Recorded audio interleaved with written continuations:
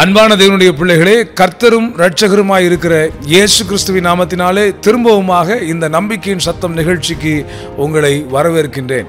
வேத வசனங்களின் ஊடாக நம்பிக்கை தரக்கூடிய வார்த்தைகளை தினந்தோறும் தியானித்து வருகின்றோம். இன்றைக்கும் கர்த்தர் அப்படி ஒரு வார்த்தையை கொடுத்திருக்கிறார். என்ன சொல்லுகிறார் என்று சொன்னால் உன்னை திரும்பவும் எழுந்திருக்க பண்ணுவேன் என்று கர்த்தர் சொல்லுகிறார். இந்த வார்த்தையை நாம் தியானிக்கும் போது வீழ்ச்சி அடைந்தவர்கள் தோல்வி அடைந்தவர்கள் இடருண்டு கிடக்கிறவர்கள் இவர்களை திரும்ப எழும்பு எழுப்புவதற்கு நம்முடைய ஆண்டவர் போதுமானவராக இருக்கிறார். நீதிமான் ஏழு தரம் விழுந்தாலும் திரும்பவும் எழுந்திருப்பான் என்று வேதவசனம் சொல்லுகிறது. அவன் விழுந்தாலும் இடருண்டு கிடப்பதில்லை என்று வேதவசனம் சொல்லுகிறது. அப்படி வேதத்தில் பல மனிதர்களை கர்த்தர் vardır. திரும்பவும் அவர்களை வீழ்ச்சியிலிருந்து எழுச்சிக்கு கர்த்தர் கொண்டு வந்திருக்கிறார். அப்படியே கர்த்தர் இன்றைக்கும் சொல்லுகிறேன் நீங்கள் எந்த நிலையிலே விழுந்து கிடந்தாலும் எங்கே தோல்வியடைந்திருந்தாலும் கர்த்தர் திரும்பவும் உங்களை எழுந்திருக்க பண்ணுவார் என்று வேத வசனங்களின் ஊடாய் ஆணித்தரமாக நான் உங்களுக்கு சொல்லுகின்றேன். ஆனால் திரும்பவும் கர்த்தர் எழுந்திருக்க பண்ணுவார் என்பதை தியானிக்கும் முன்பதாக வீழ்ச்சி ஏன் என்பதை குறித்தும் நாம் சேர்த்தே தியானிக்க போகின்றோம். ஏனென்று சொன்னால் வீழ்ச்சி ஏன் என்று தெரிந்தால் தானே திரும்பவும் விழாதபடிக்கு நாம் தப்பித்துக் கொள்ள முடியும். ஆகவே முதலாவதாக ஐந்து விஷயங்களை நான் உங்களிடத்தில் சொல்லுகின்றேன். ஒன்று கர்த்தர் உங்கள் ஒவ்வொருவருடைய வாழ்க்கைக்கும் ஒரு நோக்கத்தை வைத்திருக்கிறார். நோக்கத்தை விட்டு திசை திருப்பும் எந்த செயலுக்கும் இடங்கூடாதிருங்கள். இரண்டாவதாக சொல்லுகின்றேன் கர்த்தர் உங்களுக்கு கொடுத்த அபிஷேகத்தை ஒருபோதும் அலட்சியம் பண்ணாதீர்கள். மூன்றாவதாக ராங் அசோசியேஷன்ஸ் அதாவது தவறான எந்த உறவுகளையும் தவிர்த்து விடுங்கள். நேசிக்க வேண்டியதை வெறுத்து விடவோ வெறுத்து விட வேண்டியதை நேசிப்பதோ நம்மிடத்தில் இருக்கக்கூடாது. கடைசியாக நாம் பார்க்கும் பொழுது மனிதர்கள் கைகளில் ஒருபோதும் சிக்கிக்கொள்ளாதீர்கள். இந்த காரியங்களை எல்லாம் சிம்சோன் என்கிறதான தேவ மனிதனுடைய வாழ்க்கையிலிருந்து இன்றைக்கு நாம் தியானிக்க போகிறோம். அந்த சிம்சோன் அவருடைய பிறப்புக்கு முன்பதாகவே நீண்ட நாட்களாக மலடியாக இருந்த அந்த மனோவினுடைய குடும்பத்திலே இயற்கைக்கு அப்பாற்பட்ட முறையிலே தேவதூதன் தரிசனமாகி வாக்குத்தத்தத்தை கொடுத்து ஒரு பிள்ளை செல்வத்தை தருவேன் என்கிறதான வாக்குத்தத்தத்தை கொடுக்கிறார்.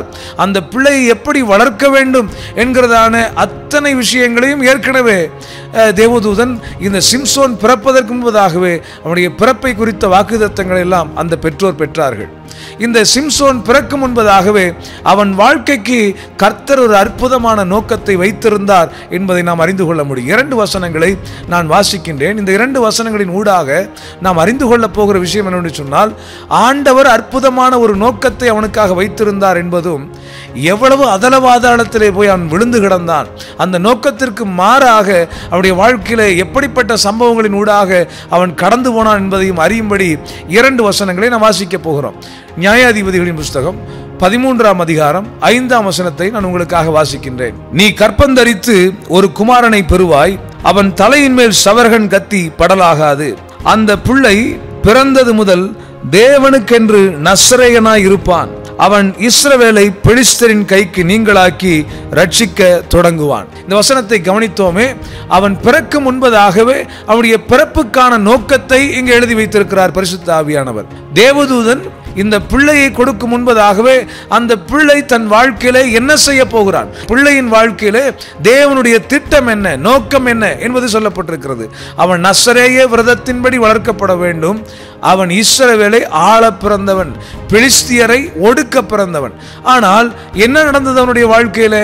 பதினாறாம் அதிகாரத்தினுடைய இருபத்தி ஐந்தாம் வசனத்தையும் நான் வாசிக்க விரும்புகின்றேன். இப்படி அவர்கள் மனமகிழ்ச்சியாய் இருக்கும்போது நமக்கு முன்பாக வேடிக்கை காட்டும்படிக்கு சிம்சோனை கூட்டிக் கொண்டு வாருங்கள் என்றார்கள். அப்பொழுது சிம்சோனை சிறைச்சாலையிலிருந்து கூட்டிக் கொண்டு வந்தார்கள். அவர்களுக்கு முன்பாக வேடிக்கை காட்டினான். அவனை தூண்களுக்கு நடுவே நிறுத்தினார்கள். இந்த வசனத்தை கவனித்தீர்களா? இஸ்ரவேலை ஆள பிறந்தவன் பெலிஸ்தியரை ஒடுக்க பிறந்தவன் இன்றைக்கு பெலிஸ்தியரின் அதாவது எதிரிகளின் கூடாரத்திலே வேடிக்கை காட்டுகிற கோமாளியாக மாறிவிட்டான். அவனை சிறைச்சாலையிலிருந்து அரை அழைத்து கொண்டு வந்தார்கள் என்று சொல்லப்பட்டிருக்கிறது. இன்னும் அங்கே வசனங்களை வாசிப்பு என்று சொன்னால் அவன் மாவரைத்து கொண்டிருந்தான் என்று சொல்லி அவனை குறித்து சொல்லப்பட்டிருக்கிறது. கண்கள் பிடுங்கப்பட்ட நிலைமையிலே அபிஷேகத்தை இழந்த நிலைமையிலே அவன் மிகவும் அற்பமான ஒரு சூழ்நிலையிலே மிகவும் மோசமான ஒரு சூழ்நிலையிலே இஸ்ரவேலை ஆள பிறந்தவன் எதிரிகளை ஒடுக்க பிறந்தவன் எதிரிகளின் கொட்டகையிலே கோமாளியாக இருந்தான் என்பதை நாம் பார்க்க முடியும். எவ்வளவு பெரிய வீழ்ச்சி. இந்த வீழ்ச்சிக்கு என்ன காரணம்? தொடர்ந்து நான் ஒன்று ரெண்டு காரணங்களை உங்கள் முன்பாக வைக்க விரும்புகின்றேன். Wrong associations not just wrong associations he despises the anointing of the holy spirit அதாவது பரிசுத்தாவின் அபிஷேகத்தை அவன் அலட்சியம் செய்திருந்தான். அது மட்டுமல்ல அவனுடைய வாழ்க்கையிலே கர்த்தர் கொடுத்த நோக்கத்தை விட்டு திசை திருப்புகிற செயல்களுக்கு அவன் மிக எளிதாக இடம் கொடுத்து விட்டான். எதை வெறுக்க வேண்டுமோ அதை நேசிக்கிறவனாக இருந்தான். எதை நேசிக்க வேண்டுமோ அதை அசட்டை செய்கிறவனாக இந்த சிம்சோன் இருந்ததின் விளைவுதான் அவன் இப்படி ஒரு இழிநிலைக்கு ஆளாகினான். இந்த வேத புஸ்தகத்தில் நாம் பார்க்கும் பொழுது இந்த சிம்சோனுடைய பராக்கிரமத்தை நாம் வாசிப்போம் என்று சொன்னால் ஒரு முறை வெறும் கைகளினாலே ஒரு சிங்கத்தை கிழித்து போட்டான் என்று சொல்லப்பட்டிருக்கிறது.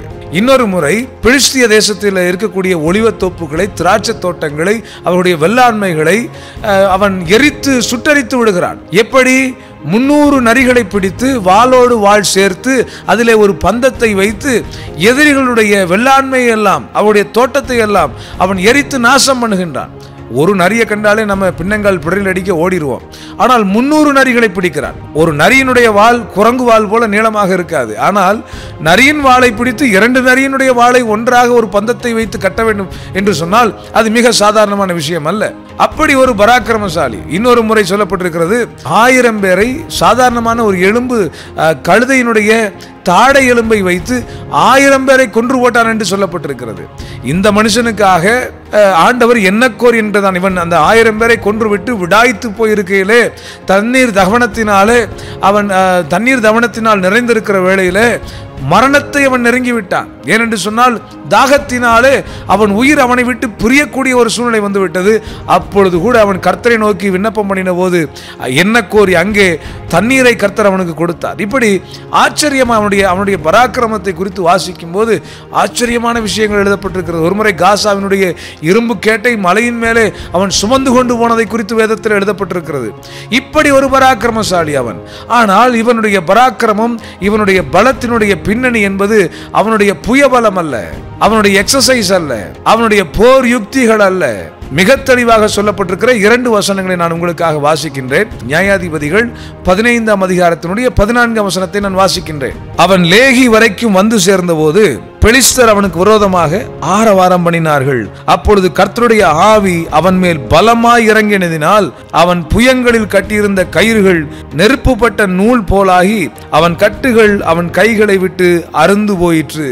அதாவது பரிசுத்த ஆவியானவர் எப்பொழுதெல்லாம் இந்த சிம்சோன் மீது வந்து இறங்கினாரோ பரிசுத்தாவின் வல்லமை வரும்பொழுதெல்லாம் தான் இவன் இப்படிப்பட்ட பராக்கிரமான காரியங்களை செய்தான். ஒரு சிங்கத்தை கொள்வதாக இருந்தாலும் முன்னூறு நரிகளை பிடித்து பந்தத்தை கட்டி எதிரிகளினுடைய தோட்டங்களை நாசம் பண்ணுவதாக இருந்தாலும் சரி ஆயிரம் பேரை கழுதை தாடை எலும்பினாலே கொன்று போட்டானே. எல்லா இடங்களையும் நீங்கள் வாசிக்கும் போது இப்படி சொல்லப்பட்டிருக்கும். கர்த்தருடைய பரிசுத்த ஆவியானவர் அவன் மேல் பலமாய் இறங்கினதினால் இந்த காரியங்களை எல்லாம் சாதித்தான். ஆனால் பதினாறாம் அதிகாரத்தினுடைய இருபதாம் வசனத்தை வாசித்து பாருங்கள்.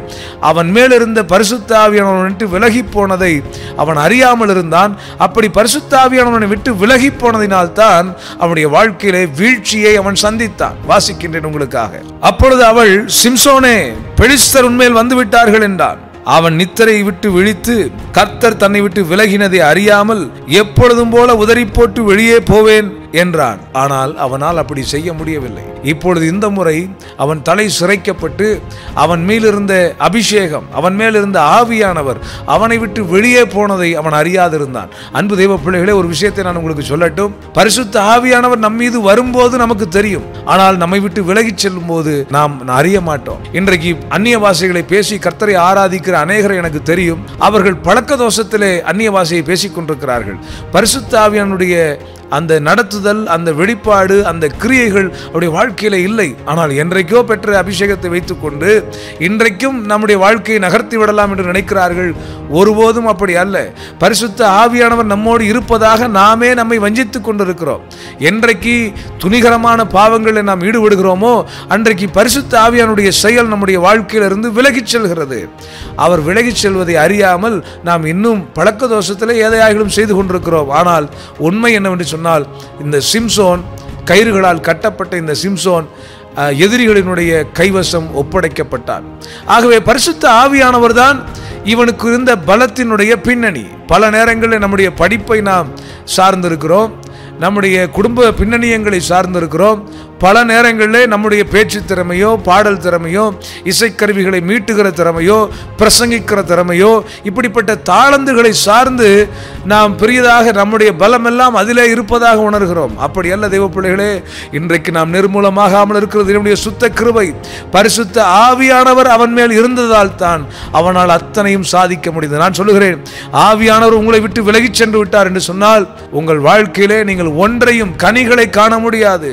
இந்த மனிதன் செய்த தவறு என்ன? ராங் அசோசியேஷன்ஸ் பதினாறாம் அதிகாரத்தினுடைய ஒன்றாம் வசனம் அவன் காசாவில் உள்ள ஒரு வேசியின் இடத்திற்கு போனான் என்று சொல்லப்பட்டிருக்கிறது. பதினாறாம் அதிகாரத்தினுடைய நான்காம் வசனத்தை வாசிக்கும் போது தெழிலாள் என்கிறதான ஒரு பெண்ணோடு அவன் சிநேகமாக இருந்தான் என்று சொல்லப்பட்டிருக்கிறது.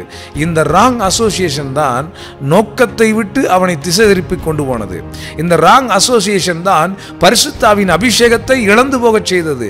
வெறுக்க வேண்டிய ஒரு உறவை அவன் நேசித்தான். நேசிக்க வேண்டிய ஒரு உறவை அவன் நேசிக்க தவறி போனான் இதுதான் அவனுடைய வாழ்க்கையில வீழ்ச்சிக்கு மிக மிக பிரதானமான ஒரு காரணம். அன்பு தேவ பிள்ளைகளே பதினாறாம் அதிகாரத்தில் நான் வாசிக்கும் பொழுது காண முடியும் தெழிலாள் என்கிறதான ஒரு பெண் ஒரு பெண். இந்த தெழிலாள் என்கிறதான ஒரு பெண்ணோடு அவனுக்கு ஏற்பட்ட தவறான உறவினுடைய விளைவுதான் அவன் அபிஷேகத்தை இழந்து போனான். ஒவ்வொரு முறையும் அவனிடத்தில் அந்த பெண் வந்து இவனை நரித்தனமாக நயவஞ்சகமாக அவனை வஞ்சித்து எதிரிகளின் கைகளில் ஒப்படைக்க வேண்டும் என்று சொல்லிதான் இந்த வேசி முயற்சிக்கிறார் அதை அறியாமல் இவன் மதிமயங்கி போய் இந்த மாம்சத்தின் இச்சைக்கு அவன் இடம் கொடுத்ததினாலே தன்னுடைய கண்கள் பிடுங்கப்பட போகிற ஒரு நிலைமைக்கு அவன் போய்விட்டான். என்ன நடந்தது என்று சொன்னால் ஒவ்வொரு முறையும் அந்த பெண் அவனிடத்தில் கேட்கிறாள் உன்னுடைய பலத்தினுடைய ரகசியம் என்ன? உன்னை யாராலும் ஒன்றும் செய்ய முடியவில்லையே.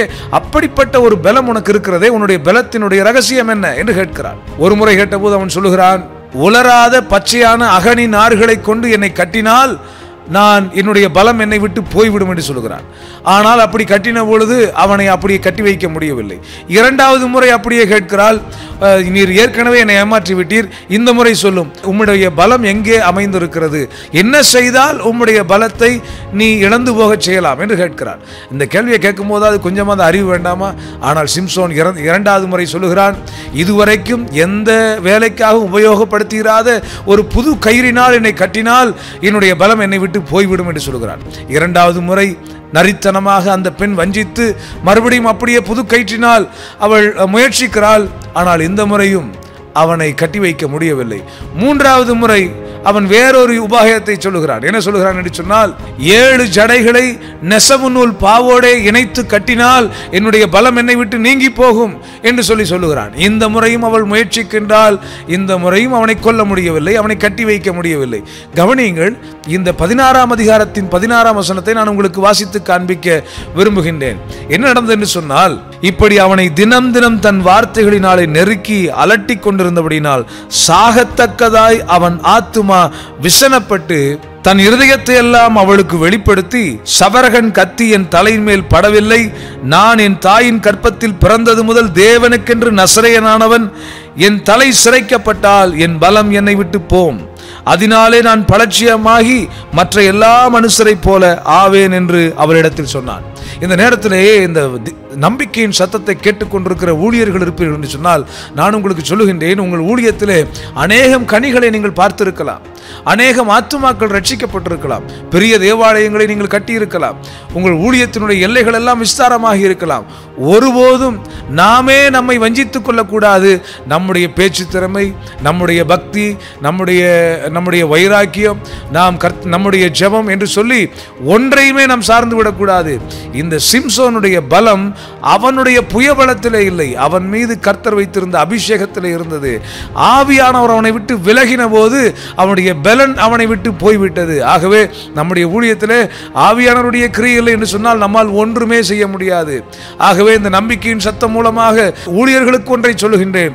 எதற்காகவும் கர்த்தர் கொடுத்த அழைப்பையும் கர்த்தர் கொடுத்த அபிஷேகத்தையும் கர்த்தர் நமக்காக வைத்திருக்கிற திட்டத்தையும் விலகிச் செல்லக்கூடிய எந்த காரியத்திற்கும் நாம் இடம் கொடுக்கக்கூடாது. கூடாது மனுஷர்கள் கைகளிலே சிக்கிக் கொள்ளக்கூடாது ஒரு பிசாசோட கையில் ஒரு ஆள் சிக்கியிருக்கிறான்னா இருக்கிறான்னா நாமத்தில் போ பிசாசுன்னு சொன்னால் அந்த பிசாசு வெளில போயிடும் வேறு வழியே இல்லை.